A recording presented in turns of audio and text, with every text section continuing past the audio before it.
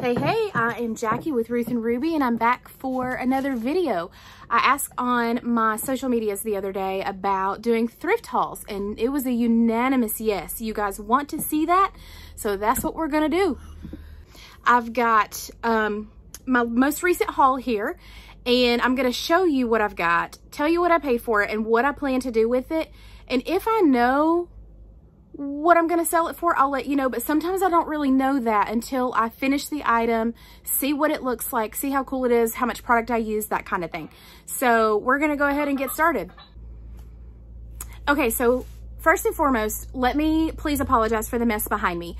I want you all to know that I've got a live sale coming up. All of these items are tagged and priced ready to go for that.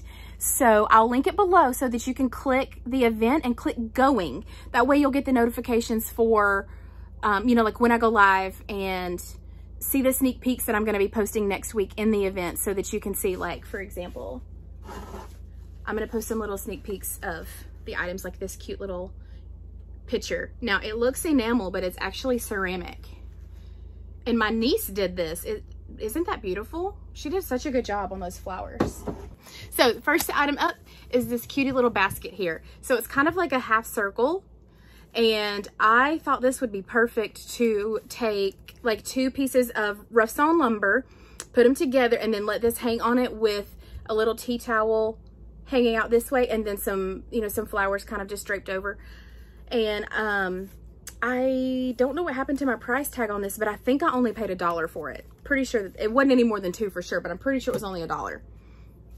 So this next item, this is not typically my style. Like I just don't normally go for, you know, like iron pieces like this, but I thought it would be cute painted in Apothecary by DIY Paint. And then, hold on. I need to interrupt this thrift haul to share this with you because, okay, just listen.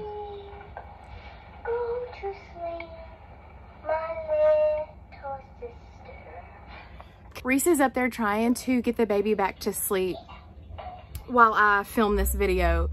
This is obviously not the right size. I need a bigger size, but now my middle, my little, middle little one, Joanna is almost six. She made this with the birdsong mold.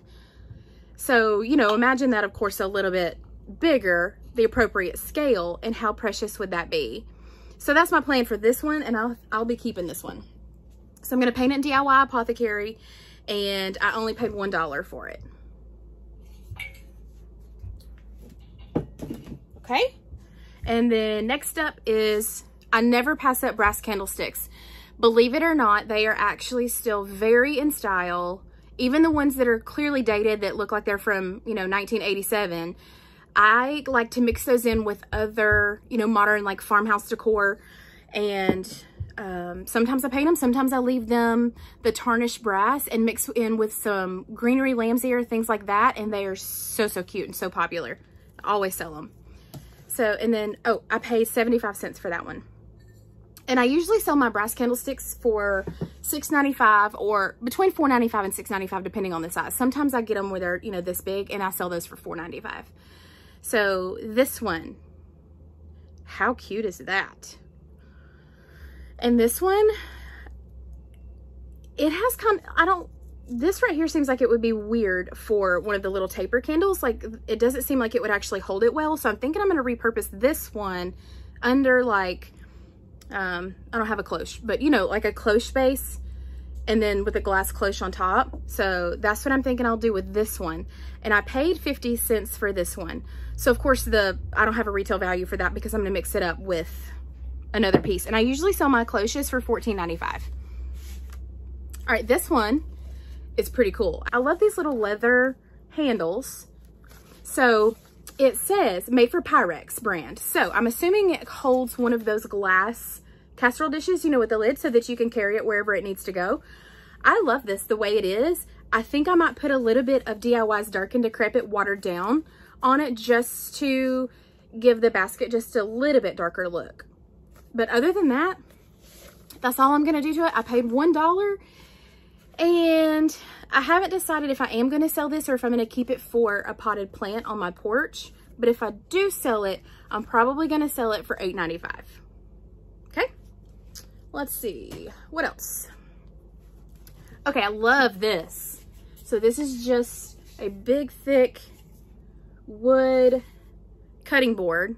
And it's got these little feet on the bottom. So, you know, it doesn't slip around. I'm going to see if I can get these off and put some slightly larger feet on it about this big. So then it will become a riser. So these look really cute, like next to the kitchen sink with your dish soap and little scrubby brushes, things of that nature. So that's my goal for this one. And I'm going to sand it down and put some DIY Dark and Decrepit on this one also. Then my next, okay, I don't know if you guys know this, but basket walls are super hot and a lot of different style decor. So these are, you know, two different sizes. So these are so cute in either boho style, modern farmhouse style, a lot of different styles. You can mix these and match them with whatever your current decor is. So this one I paid 50 cents and this larger one I paid, let's see, what does that say? 75 cents. So again, a little bit of watered down, dark and decrepit, change that yellow color just a little bit and go from there. We'll see, I think these feel like they're bamboo.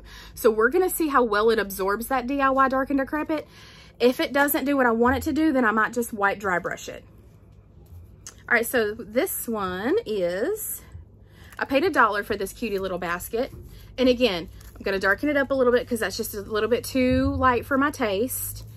So I'm gonna go with some more watered down dark and decrepit and see what happens with that. Okay, let me show you this. Precious little milk jug. Look how sweet.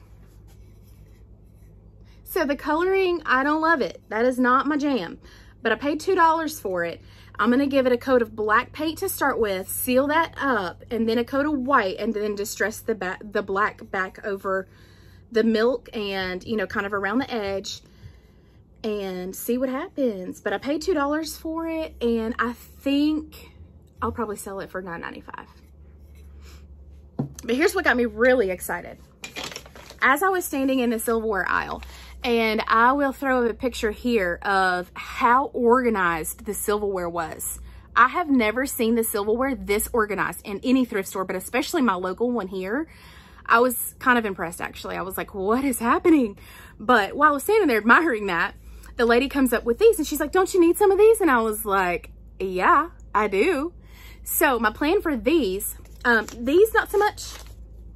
I have another idea for these the, you know, little fork and this little spatula thing. But for the spoons, I'm going to paint these and I'm going to make them garden markers. So for like basil and what's that other herb I always kill? Rosemary. Whatever. I don't know. And um, I have, let's see, three, four, six. Okay, I'm going to do two sets of three. So I'll probably keep a set for myself because my girls love to always pot the herbs, even though we don't always do that great with them. But I do usually do okay with basil, and we usually put that in our spaghetti sauce and things like that. So if you have any other tips for basil, please let me know, because what else can I do with it? We love it. I just don't know what else to do with it. So tell me below. Anyway, I have six total, so I'm going to do two sets of three, but I'm going to paint them. And in, in here, I'm going to do the, um, the herb names, and I might even do a picture of the herb uh, or paint it or maybe do a little decoupage. But I got this idea from my friend Bri at Upcycled, Upcycled by Bri. And I will try to link her channel in her um, social medias below so that you can go give her a follow because she's so creative and gives me such good inspiration. All right, next. I know. I know what you're thinking, but you got to hang with me, okay? So these are straight up out of 1978. I know but how cute are they going to be is what's important. So I paid 25 cents each for these. And my goal is to first get them clean because like they came straight with salt and pepper still in them. So we're to get those clean. I'm to run them through the dishwasher, get them really good and sanitized. Then I'm going to add the crockery stamp. I will, um, I'll link it below, but here's the truth. Okay. My friend Julie with Julie's Designs and Signs did an awesome video on it and crockery kind of went viral, y'all. So if you don't already have our um, crockery, when we get it back in, you better snag one. So even IOD is sold out right now and we don't know when we're going to get any more in. So go over to my website and click that you want to be notified when they come back in stock, okay? But anyway, what I'm going to do is I'm going to take some clay and I'm going to press the stamp into the clay so that it's got the cute little impression. Then I'm going to paint it and I'm going to paint it white and then I'm going to put some black wax into the little design that's going to go over this. All right. Then I'm going to have these cutie little salt shakers that are nice and cleaned up and freshened up and ready to use. So there's that. Okay, here's another, like, what you buy that for? I don't even know what this really is like supposed to be for because it doesn't look like your typical Bundt pan. So I'm not really sure, but my goal is I'm to paint the outside, make it something, you know, kind of springy, and I'm going to put succulents in it. Okay, friends, I hope you enjoyed this thrift haul today, and I hope that I have some items that maybe have inspired you, that maybe something you would normally walk past, and that maybe next time you'll pick up because now you've got an idea. So subscribe if you haven't already done that. That way you can see the actual thrift flips, because I'm going to do another video where I take these items that I've showed you and actually do what I said I have planned to do. So you might want to watch that just in case things don't work out, because sometimes they don't.